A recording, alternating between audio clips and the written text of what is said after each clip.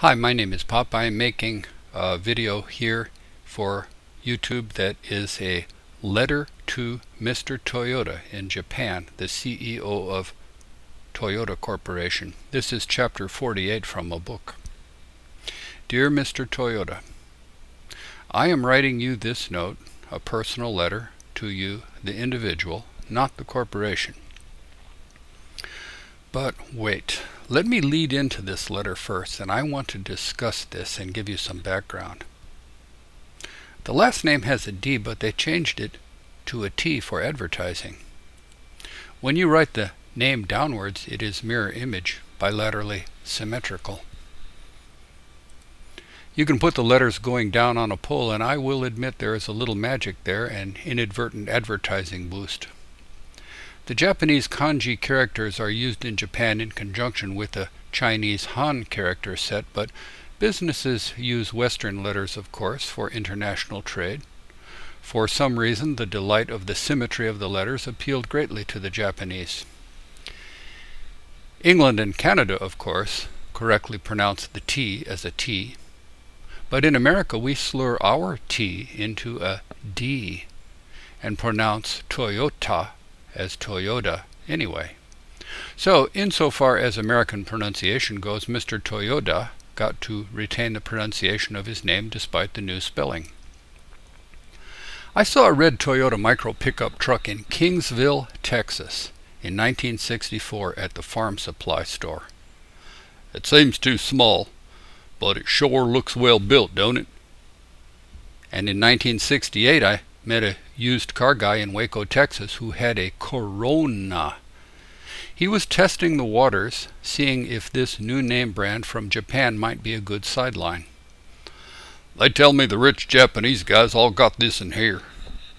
They wanted me to look at a smaller one, the Corolla, but I told them no, that it was too small, that it will never sell.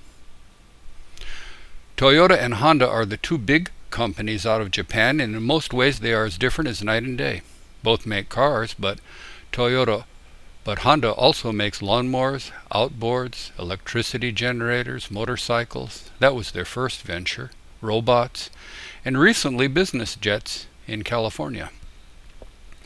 Honda is a great success story, but I want to dwell on Toyota and Mr. Toyota. Toyota has stuck with cars, trucks, and forklifts. They specialized in automobiles, and it is no coincidence that their cars are the best ones you can buy on planet Earth. The Corolla is known as the gold standard of automobiles, and that title has not been bestowed on it for any arbitrary reason. It earned that title the hard way through patient, inexorable, hard work. Even the early Corollas were perfect. They started at the highest possible level, but diligently continued improving them. There are zero compromises in quality and safety. Beyond that, they're also styled in a very appealing manner. The Corolla is a better car in all ways than even the fabled Rolls Royce. It is better than anything available out of Detroit or Europe.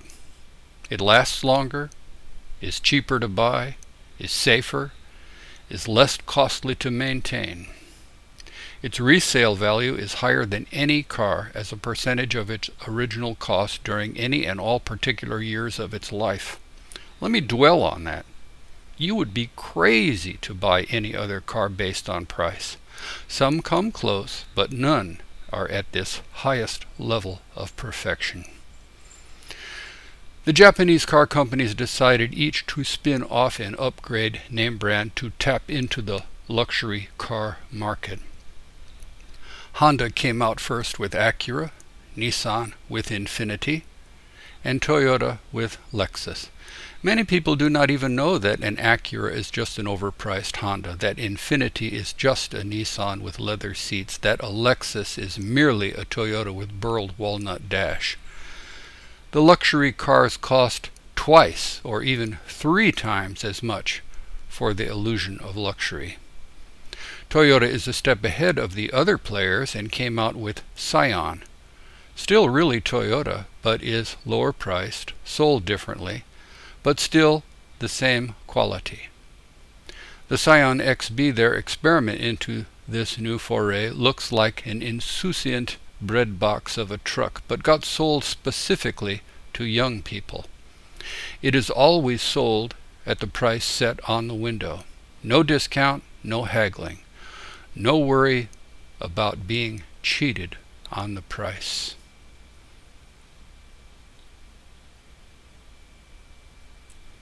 To Toyota's complete surprise and delight, the car began being bought at high rates, not just by young people, but by old boomers.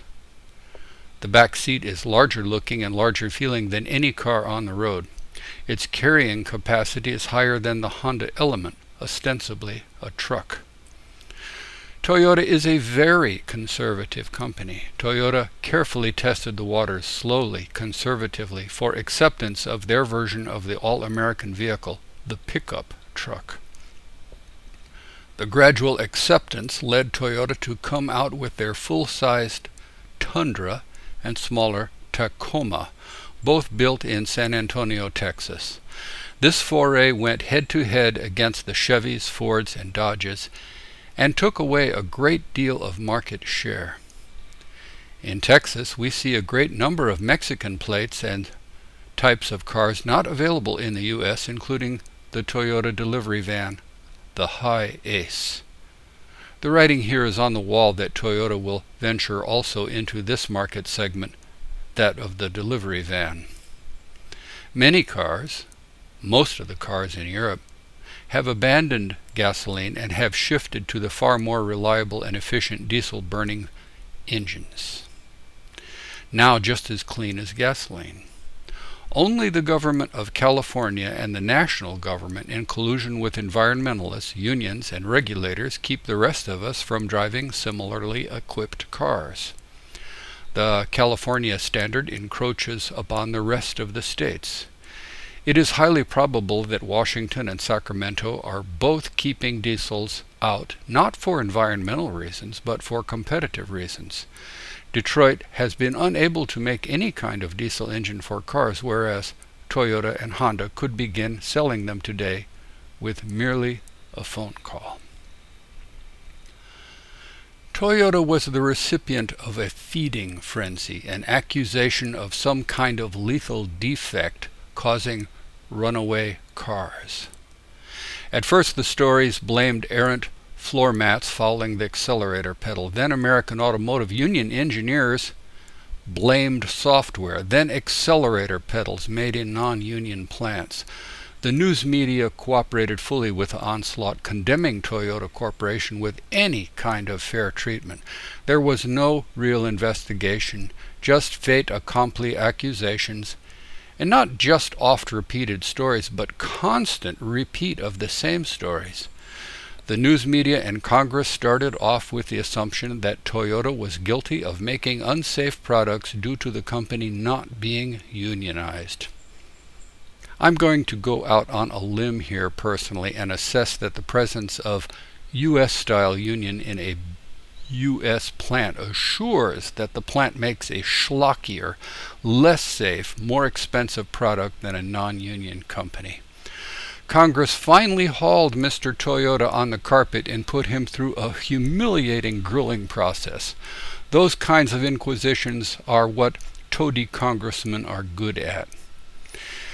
They are excellent at posturing before nationally broadcast TV cameras. During the Grand Inquisition of Faith, they used to refer to getting the brand of justice as interrogation with prejudice.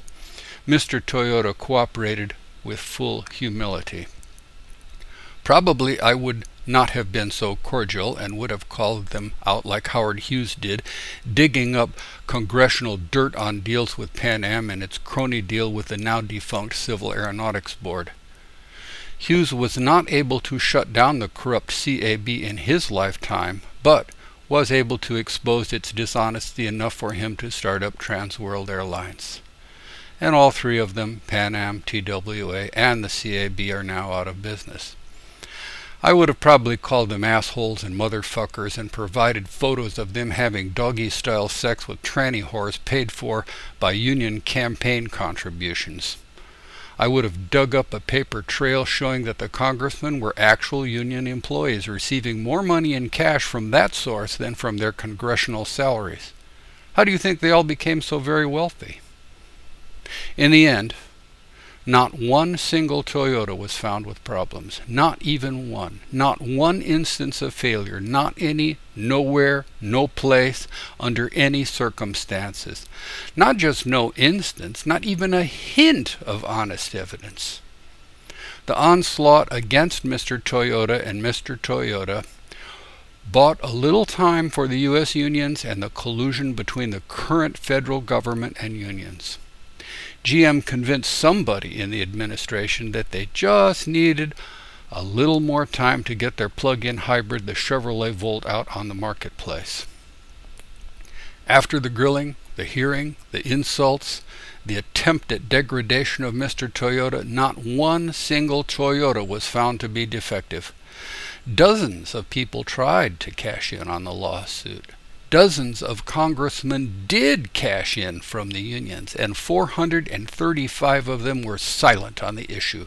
No one spoke up for reasonable assessment. It was like a feeding frenzy of sharks. And the sharks have a saying The only thing you need for an evil feeding frenzy to occur is for good sharks to do nothing. Here then is my letter to Mr. Toyota. Dear Mr. Toyota, I am writing you this note, a personal letter to you, the individual, not the corporation. I wanted to apologize to you on behalf of the American people for the way you were treated by our national leaders. It is dishonorable behavior that we exhibited in the way we responded to the recent news reports of accidents occurring with Toyotas. The whole affair was handled incorrectly, and there is no justification for our quick denouncement of Toyotas. We should have investigated further before making summary judgment against you, your company, and your fine products. The calm restraint you displayed during the disagreeable interrogation demonstrates what fine character you possess, and I admire you more than any other man on planet Earth. The history of similar claims, such as the withdrawal of Tylenol from the shelves of stores, should have alerted us of the way in which these news stories grow. The news media acted very irresponsibly in their condemnation to continue their ongoing profits at the expense of yours. It is one thing to report a tragedy and profit from it. That at least is an understandable function of journalism.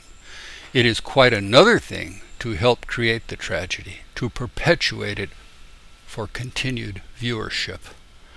The collusion between our auto industry unions, left leaning news media, and left leaning national government to buy time during our economic difficulties is shameful to say the least. You probably would be the first person to understand that this kind of behavior would not have occurred if the U.S. were not in dire straits due to our own economic mismanagement. But this economic distress is no excuse, no excuse at all for shameful behavior. We lashed out at your success rather than direct anger towards the real villain in this story. And the real villain here is us. We injured ourselves through stupidity, then took it out on you. I repaired cars for 15 years, owned four full service shops. I noticed I was making almost no money from Toyotas, except for maintenance, regular things like oil changes. I made my money from repairing other name brands, poor quality domestic cars, and although the money was nice, I felt badly for my customers. This eventually led me to buy Toyotas for my own family. Best regards, Pop. There's always more to a story than its veneer. Perhaps GM even quietly approached Toyota seeking a partnership or trade agreement. I can see it now. GM invites Toyota to a meeting in Detroit, perhaps to set up a buyout of a new manufacturing facility or something. So Toyota sends the bespectacled Mr. Suzuki and his three assistants.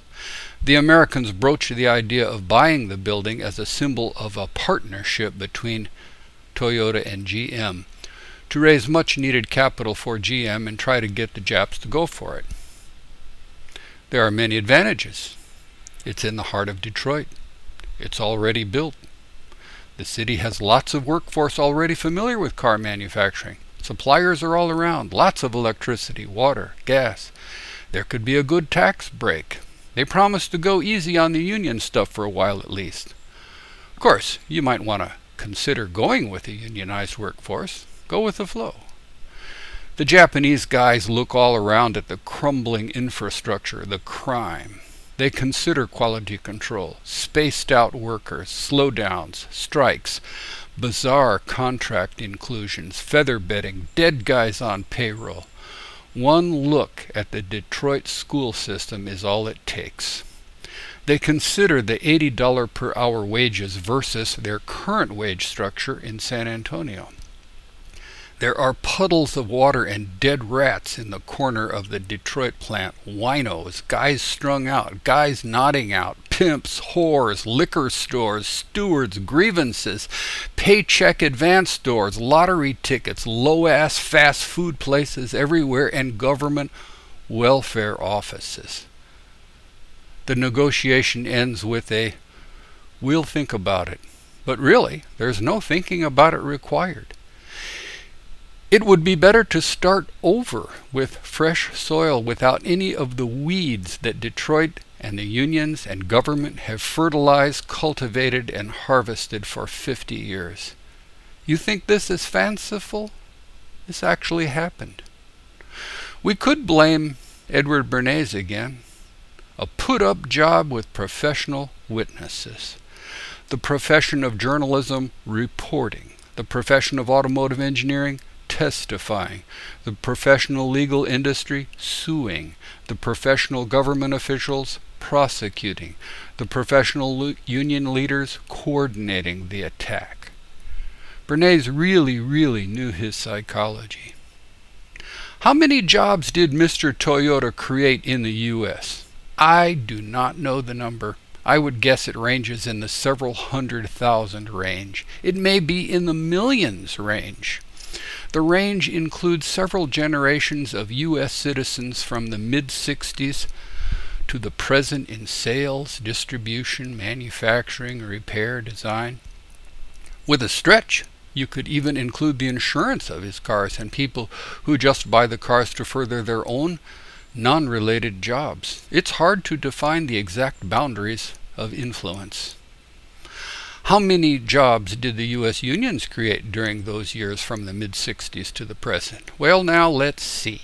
They like to feather bed, add dead guys to the payroll, but that actually subtracts employees from the mix. They like to add two or three times as many people as it really takes to get a job accomplished. That certainly adds a job or two. I'll have to give them that. But when you do that, you are increasing the final selling price of the product, aren't you? and the higher priced product probably will sell fewer in number due to increased costs. No. Sorry. Padding the workforce does not increase the overall employment. A unionized workforce does increase the number of people who work directly for unions, arbitration guys, community organizers, politicians. I have to conclude that a unionized workforce destroys productivity, profits, reduces the number of people employed, slows down the economy. Oh, yeah. It also makes a schlockier car like Saturn, Fiero, Cadillac Diesel, Pinto, Citation, Vega, K car. It would be hard to decide which among these deserves most the Worst U.S. Car Ever Made award. They all deserve it. Meanwhile, people are still driving old, old Toyotas. The only reason people quit driving them is the presence of entropy in the universe. One by one, each old Toyota, sadly, wears out from inexorable aging like the famed one hoss shay. There's an old poem about a preacher's carriage, describing how very well his vehicle was made, that it did not wear out piece by piece, but rather fell apart all at once, fell to dust where it stood. The Deacon's Masterpiece, or The Wonderful One Hoss Shay, A Logical Story, by Oliver Wendell Holmes, 1809 to 1894. Have you heard of the wonderful one hoss shay that was built in such a logical way? It ran a hundred years to a day, and then of a sudden it, ah, but stay, I'll tell you what happened without delay. And it goes on and on. And my name is Pop, and I thank you very much. I hope you enjoyed this.